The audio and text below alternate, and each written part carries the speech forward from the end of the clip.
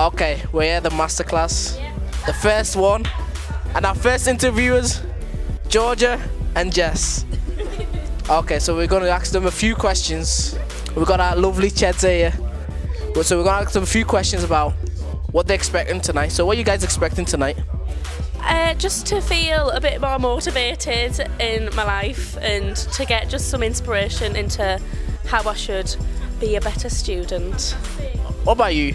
Pretty much the same thing. I think what, what we've been saying all week is to become better than average. That's why we're here. That's exactly why we're here.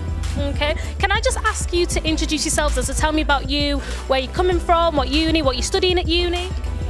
Uh, I'm Georgia. I am studying at Edge Hill University. I'm studying musical theatre, um, but we both live in Middlesbrough normally, so up north.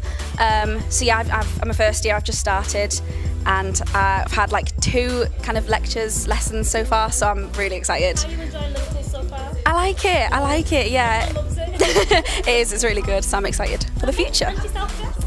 Uh, I'm Jess. I'm at Edge Hill University as well, and I'm doing performing arts. So it's kind of like musical theatre, but less singing and dancing. and then I also live in Middlesbrough, and I've had two proper like workshop classes, which have been really fun. So I'm looking forward to it. both know each other from Oh yeah, Are you like best friends from like? yeah. Oh. I can tell, I can see that they're like, ah! They're so excited. And me and Magda as well. So, okay, when you hear masterclass, what, what, what, what do you think of? like that you're professionals in what you're doing, and we're gonna get like top end advice. Yeah. Pressure. Yeah, basically the same. Same. Oh, okay. Oh, I like I like these two. I like these two. They're, they're excited. We do actually hope that you take away something from this. We really hope that you leave here challenged, inspired, and developed. That's all it is, especially as you start in the academic year.